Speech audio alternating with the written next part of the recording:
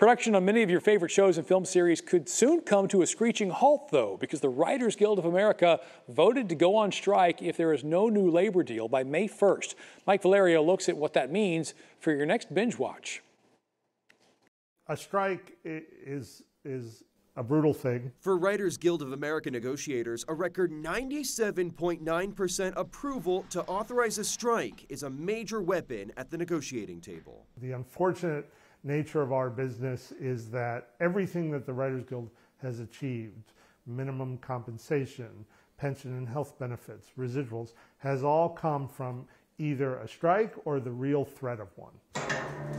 The WGA says the rise of streaming and the shortening of traditional TV seasons are making it difficult for members to make a living wage. We're just looking to be fairly compensated for the value we create. The Alliance of Motion Picture and Television Producers represents several major entertainment companies. They've released a statement reading in part, quote, "Our goal is and continues to be to reach a fair and reasonable agreement." On strike, the last writer's strike came in 2007 and lasted 100 days, but today's landscape looks very different. We were just catching up to production stoppages and COVID encumbrances. The impact of a strike would reverberate from Hollywood backlots to America's living rooms. What you're looking at is sort of shows that you are anticipating a season coming up with in the next few months could be delayed as as much as a year if not more depending on how the strike plays out. In Los Angeles, I'm Mike Valerio reporting.